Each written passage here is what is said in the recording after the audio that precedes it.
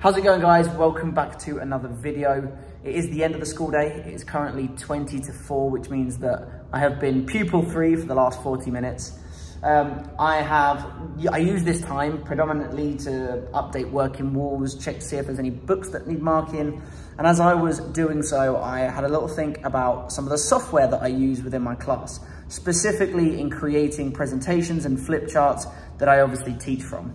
Um, so in this video, I'm going to talk a little bit about the software that I use, um, the pros and the cons to it, uh, and hopefully at the end of this video, you might have a good bit of an idea as to the kind of things that you can use. Now, if you've been teaching for a little while, this video is going to be nothing new and everything that I cover in it, you've probably already used. Um, but if you're a new teacher, this video might be perfect. So the three pieces of sort of presentation software that I'm going to talk about is PowerPoint, um, flip charts made with uh, Active Inspire, and finally Seesaw. Now they all have pros, there are a few cons to some of them as well, and I'm gonna be talking about ease of use, the speed at which you can create presentations, and also how interactive they are. You know, I'm, I'm a year four teacher, being able to interact with the children using the interactive whiteboards is really important, and not all of these softwares is as easy to interact with as others. So let's get into it. So first up, we've got PowerPoint. Now, I'm not going to talk too much about PowerPoint purely because it is probably one of the most familiar softwares for creating presentations. You've obviously got all of the buttons along the top. You can insert GIFs, pictures, you can make things bounce on and off the screen with the animations tool and transitions tool. One thing that I will pay, bring to everyone's attention, however, is this little link at the top called Designer. Now, Designer is very, very efficient. It's a very easy and useful tool.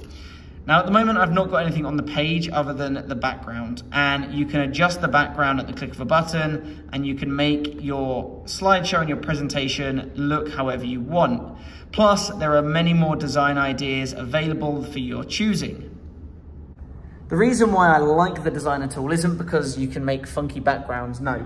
It's because what it can do for you is if you stick a load of pictures and text onto the blank screen and click the designer tool, it puts them in really nice and easy to see orders. It means that you're not there constantly moving your text around and your pictures, you put them up, it will then basically arrange them for you and you can choose whichever one you think is best. So I've gone ahead, I've stuck three pictures on the screen and literally a piece of text that says which animal can fly. Very basic, I know, but this is just an example.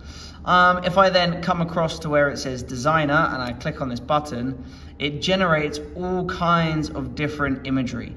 Um, very, very simple, very, very easy. I can then click on one that I might like, let's say this one here, and it changes it automatically.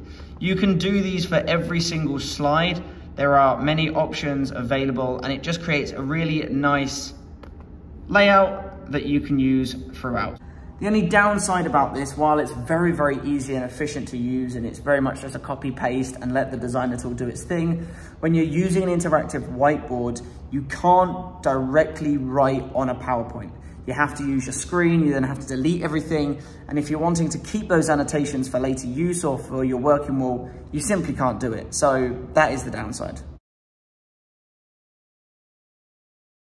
The next piece of software that I'm going to talk about is Active Inspire. Now, Active Inspire allows you to create flip charts. Um, they, they do look a little bit outdated, I'll be honest, but they are very, very effective. You can add lots of things in the same way that you can with PowerPoint. You can add GIFs, especially if you're working with younger children, to add a bit of humor in there. You can add pictures, you can add links to websites, you can add all sorts of things. Plus, when it comes to interactivity, I had to figure that one out then. It is really, really interactive. You can stick it up on the whiteboard. There is a highlighter and a pen tool in the actual software, which means that you can write on it, you can move things about, you can get children to come up and write their answers and their comments, and it saves automatically. That means that you can move between different pages and all of the annotations are there. I find that really useful, especially for working walls, because you can then just print off the screen. You don't have to waste extra time making your own special things for your working wall. It's all in place. Okay, so I've currently got the flip chart on the working board, on the, the working board, on the interactive whiteboard. It's got some maths manipulatives up there. I can do a couple of things with it. I can move them with my finger. I can also use the pen tool to highlight and click. So if I want to get kids to show me a certain number, for instance, I can write it on the board. If I click on the pen tool, I can ask them to do 342, for instance. I've then got that big and bold on the board. They can then come up and they can choose the number of manipulatives that need to go in to create that number. So they can come down, they can put one, two, three, one, two, three, oh, there we go, and four, and then one, two. So as you can see, it's very, very easy to do. And if I then click the next button, it moves over to the next slide and it saves it all. So if we then move on and do something else, I can then skip back and everything is still there. At the end of the lesson, if I want to add something to the working wall, all I need to do is go onto my, my laptop, take a snippet of it, and then stick that up onto the working wall. And there you go, easy as that.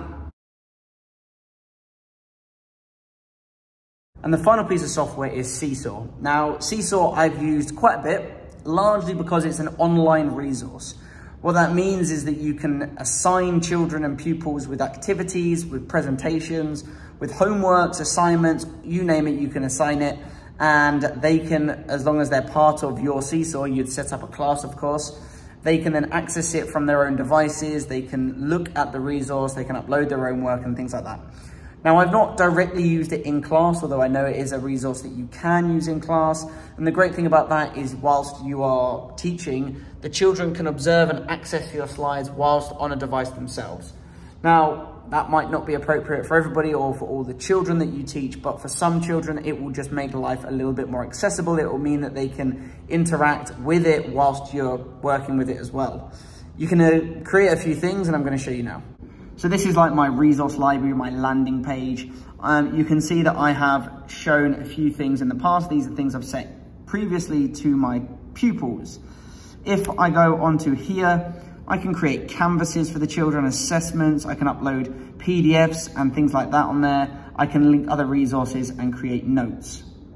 Another really great thing about this site is the children can upload their work directly onto Seesaw. You can mark it and you don't even have to mark it with, with like a pen or comments. You can leave voice notes and video notes. So the children can go away, they can look at what you've commented and they can make adjustments to it. They can send it back to you. You can create dialogue.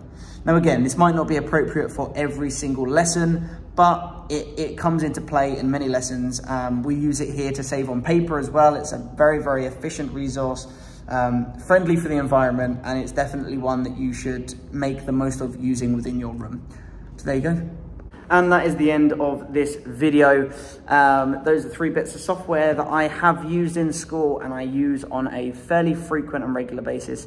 Now you'll find naturally within your teams, depending on your school setting, that some teachers might have preference over certain software. That's very natural.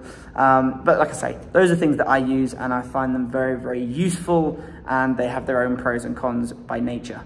Uh, if you enjoyed this video, if you found it at all useful, don't forget to hit the like button. If there's anything you want to know in particular about any of the software I spoke about or others, comment down below and don't forget to subscribe. Um, I am bringing out something exciting very, very soon and I will share that with everybody that will hopefully help some teachers, especially those new in the profession. So keep your eyes open for that and I will see you in the next one. Bye.